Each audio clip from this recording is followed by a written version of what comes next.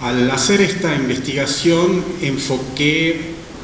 en el aspecto simbólico. Hay muchas formas de investigar cultura de consumo. Uno puede seguir a las personas, ver qué es lo que compran, cuándo compran, cuál es su trayecto, cómo eligen, etc. Eso no fue mi planteo. Yo más bien me interesé en por qué la gente compra y cómo percibe qué es lo que compra en un plano más, podríamos decir, simbólico. Es decir, hablamos de imaginarios compartidos. Y cómo se construyen esos imaginarios compartidos era un tema que yo ya había investigado anteriormente en Santa Cruz.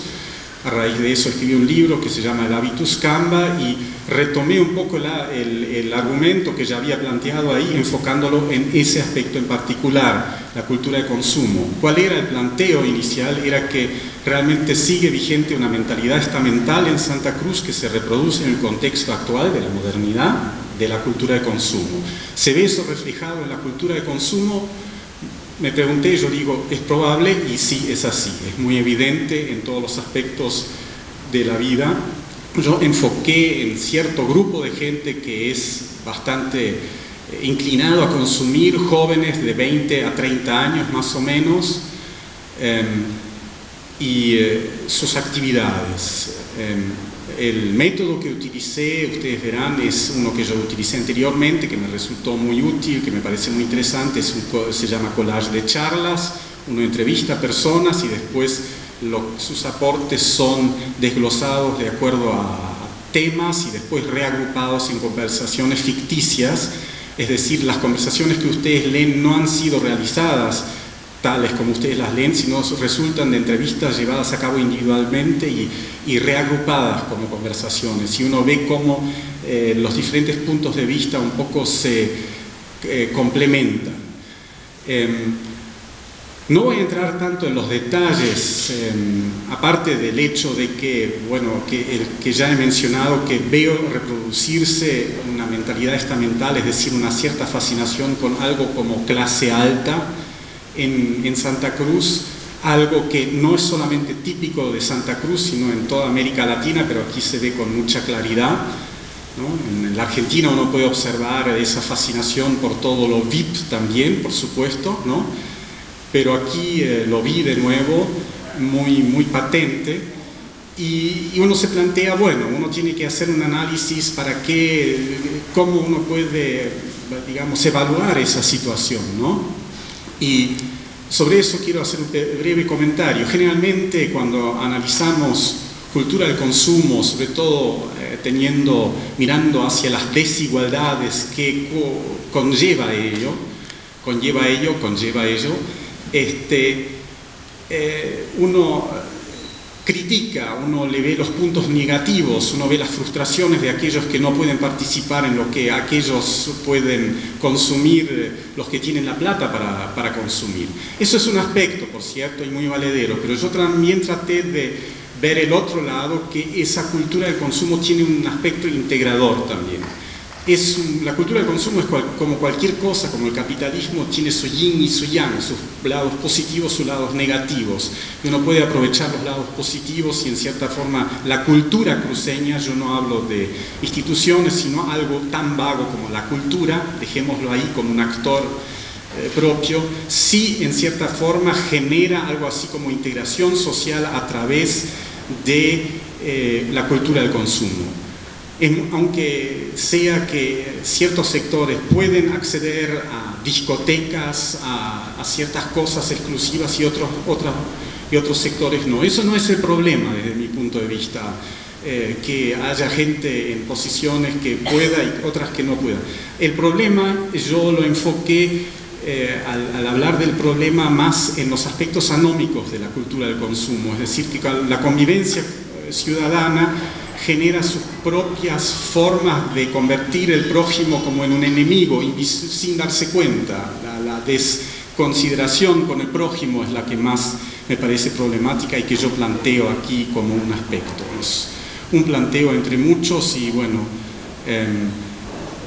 eh, era un, intento de ver cuáles podrían ser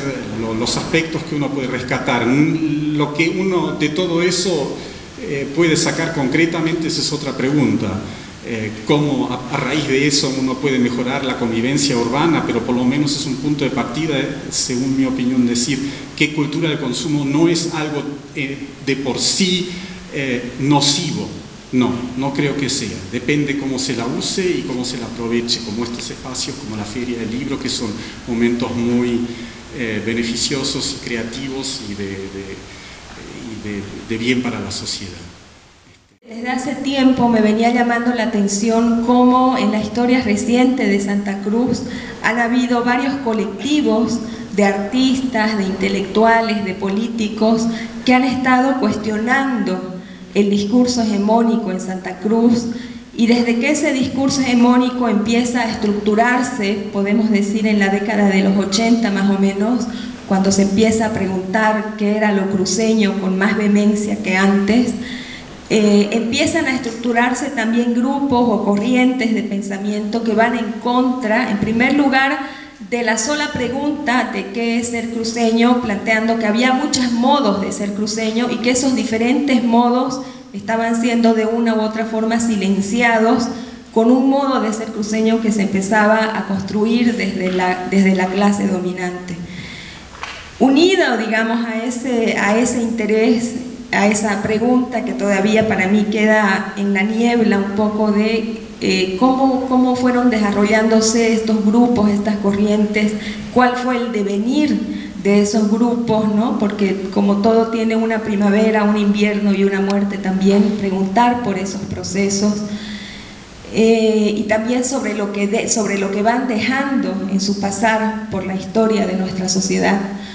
También se me vino eh, la pregunta de cómo hacían, cómo, era, eh, cómo, veían a la sociedad cruceña y cómo era su relación con esa sociedad cruceña de parte de los individuos y las individuas que asumían en cierto momento o en cierto ámbito de su quehacer cotidiano una postura crítica, una postura diferente a la postura hegemónica, ¿no es cierto? Que,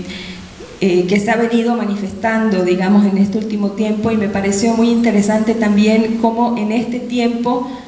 eh, se van desarrollando esas otras posturas críticas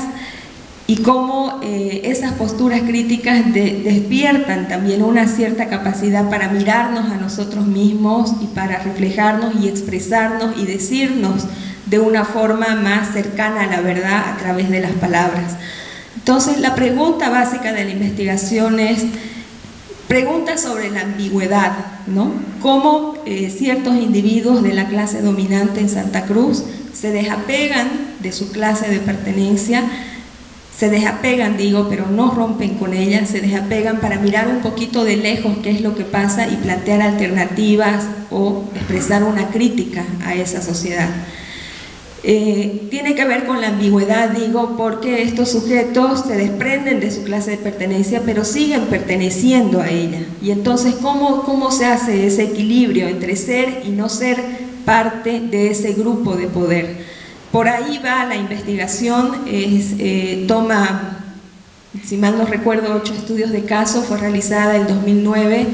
y eh, termina con la constatación de que el silencio social lo que conocemos nosotros como muerte civil, es uno de los, de los modos, digamos, de, castigar o de reprender a, ciertas personas que plantean ciertos temas y cuáles son los temas que desatan, digamos, ese castigo por encima de otros que, que desatan una crítica pero no desatan un castigo, ¿no? Entonces se pregunta por la identidad, por, la, por, la, por, el, por el ordenamiento, digamos, por ese orden que instaura la sociedad cruceña tal como, lo conocemos, cómo se tratan los individuos que desde la ambigüedad de su pertenencia y no pertenencia están criticando ese modo de ser, luego eh, cómo se relacionan esos individuos con ese amor y odio, con, ese, con, su pertenencia, ¿no? con su tierra, con, su, con sus costumbres, con su cultura.